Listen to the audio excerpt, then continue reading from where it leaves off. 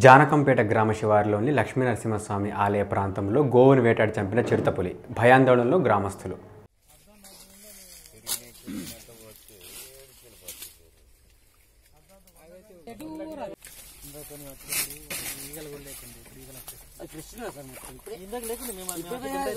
మబ్బున పుట పట్టినట్టున్నది.